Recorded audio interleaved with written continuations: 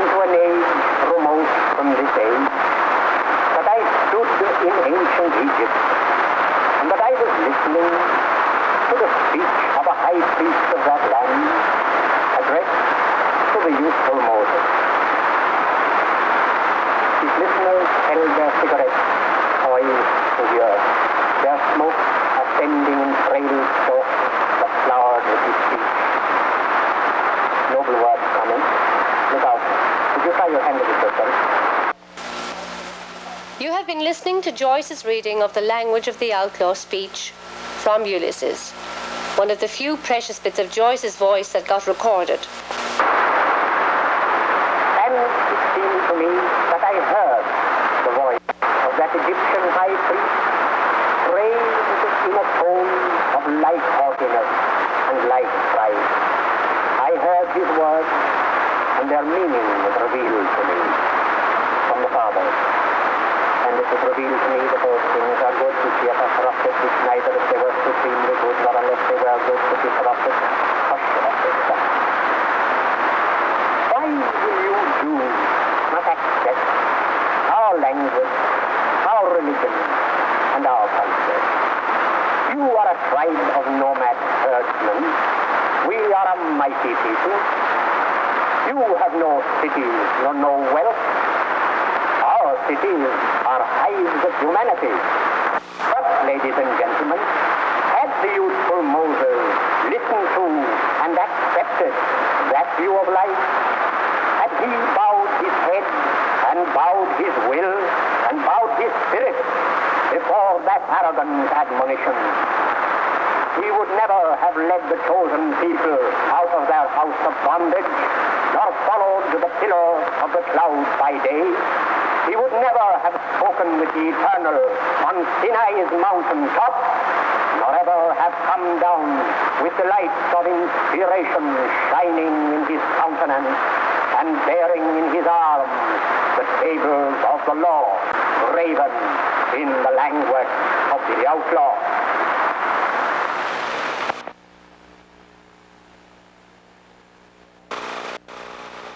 Introducing Mr. James Joyce, Mrs. Nora Joyce. James Joyce was a strong family man, and this always shows up in his novels. He was a traditional man, but at the same time, a great breaker of tradition. He revolutionized the novel. When he wrote, he wore a white jacket with the arms of the city of Dublin on his breast pocket. He dresses neatly, always wears green ties, sports heavy rings on his fingers, carries an ash plant cane which he twirls and twirls. Time magazine, February the 17th, 1930.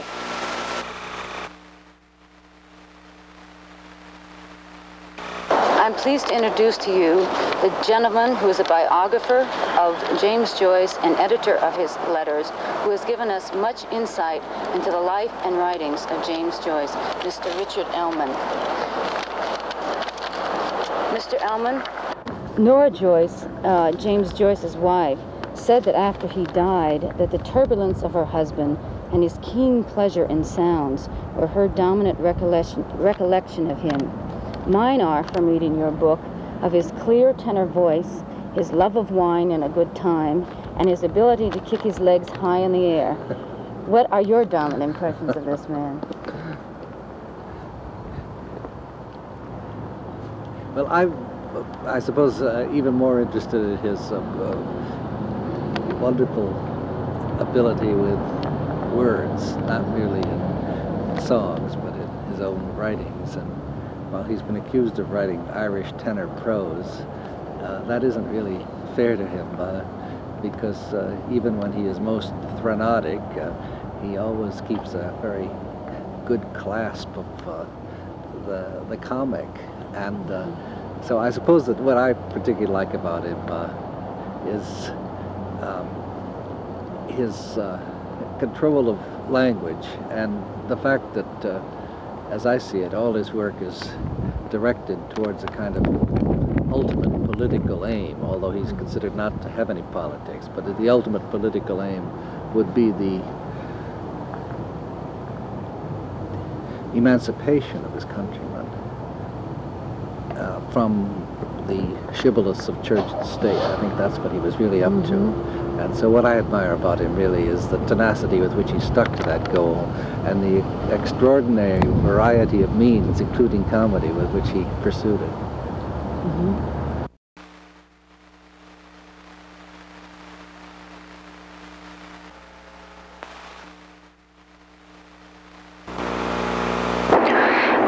shines for you, he said, the day we were lying among the rhododendrons on Howth Head in a grey tweed suit and a straw hat, the day I got to propose to me, yes.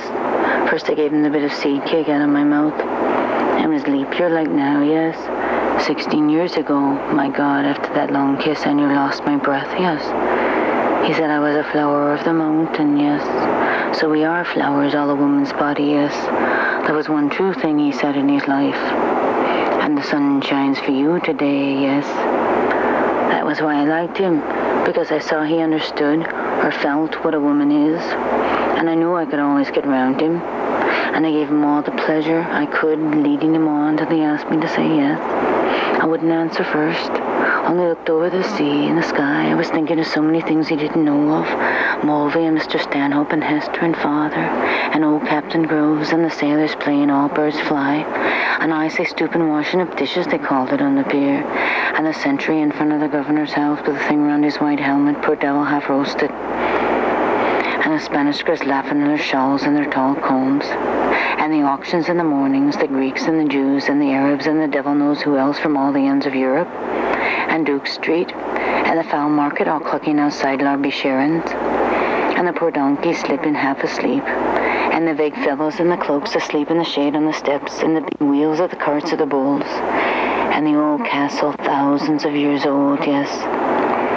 And those handsome Moors, all in white and turbans like kings, asking you to sit down in a little bit of a shop. And Ronda, with the old windows of the posadas, glancing eyes, a lattice hid for a lover to kiss the iron. And the wine shops half open at night. And the castanets. And the night we missed the boat at Algeciras. The watchman going about serene with his lamp. And oh, that awful deep down torrent, oh, and the sea. The sea crimson sometimes like fire. And the glorious sunsets. And the fig trees in the Alameda gardens, yes. And all the queer little streets in pink and blue and yellow houses. And the rose gardens and the jessamine and geraniums and cactuses. And Gibraltar as a girl where I was a flower of the mountain, yes. When I put the rose in my hair like the Andalusian girls used, or shall I wear a red, yes. And now he kissed me under the Moorish wall. And I thought, well, as well him as another. And then I asked him with my eyes to ask again, yes. And then he asked me, would I, yes, to say yes, my mountain flower. And first I put my arms around him, yes, and drew him down to me so he could feel my breasts all perfume, yes. And his heart was going like mad. And yes, I said yes, I will. Yes. You like to say something now that we're on Molly about Joyce's relationship to women and the women in his uh, novels? Yes. I think that uh, Joyce uh, had a serious endeavor to liberate not only men but also women. Uh, there, there may be vestiges of Victorianism in him, uh, rather difficult uh, if one is brought up in a completely uh, uh, um, Catholic society, as he was, uh, uh, uh, to um, see things in a totally un-Catholic manner. But at any rate, he did do his best, and whatever his lapses may have been, I think that was his ultimate purpose. Oh, that's, that's nice to hear.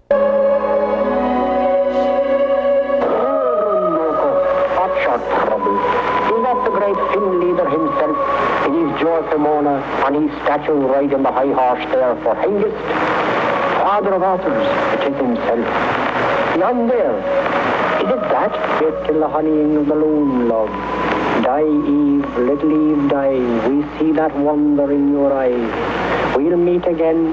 We'll part once more. The spot I'll seek is the hour you'll find. My chart shines high where the blue milk's upset. Forgive me quick, I'm going. Goodbye. First you brought in tea and cake, then pipes, tobacco and whiskey punch. To the O'Brien began to cry, such a nice clean corpse did you ever see? To move on, you know, you did you hear a howl your gob said Paddy McGee. Oh, wait till the dano dance to your mother, well the floor your trotters shake. Wasn't it the truth I told you? Lots of fun at Finnegan's Wake. That the dead do not stay buried is a theme of Joyce from beginning to end. Finnegan's Wake is not the only corpse to be resurrected.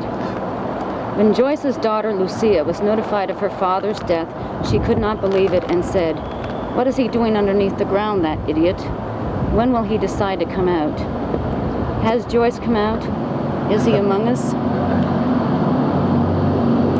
Well, there seems to be very little doubt that uh, he is among us in some senses. Uh, there is, I suppose, a sense in which um,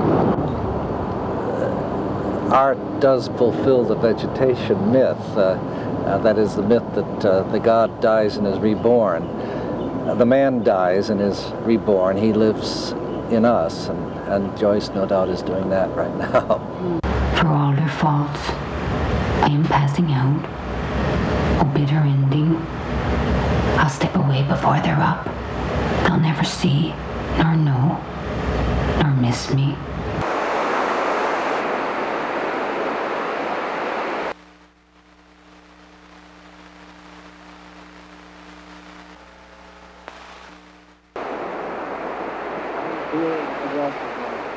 The chittering waterfowl, glittering bats, field mice, bark, talk. Oh, are you not gone a home? What Tom Malone can't hear the bark of bats, all the Lithian waterfowl. Oh, talk, Savis, my goose won't moose. I feel as old as yonder elm a tale told of Shaun of Shem, all Livia's daughter son. Dark hawks hear us. My whole head all, I feel as heavy as yonder stone. Tell me of Sean, of Shaun. Who were Shem and Shaun, the living sons and daughters of? Night now, tell me, tell me, tell me, Elm. Night, tell me tale of stem of stone beside the rivering waters of, hither and thithering waters of, night,